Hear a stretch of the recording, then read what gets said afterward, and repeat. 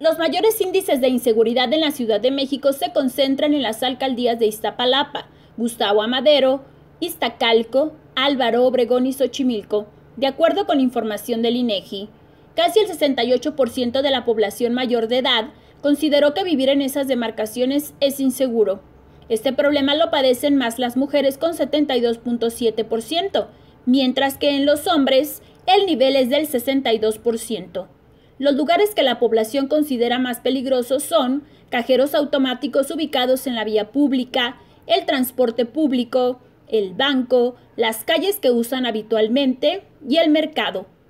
Por lo que respecta a los delitos comunes observados cerca de las viviendas están el consumo de alcohol en las calles, robos y asaltos, vandalismo en casas o negocios, venta o consumo de drogas, así como disparos frecuentes con armas y pandillerismo. Recordemos que precisamente los alcaldes morenistas de Iztapalapa con Clara Brugada, Gustavo Amadero con Francisco Chigil y Xochimilco con José Carlos Acosta buscarán la reelección en los comicios del 6 de junio, a pesar de que no han podido controlar este problema social tan sentido de los capitalinos. Informó para Canal 6 Nancy Grajeda.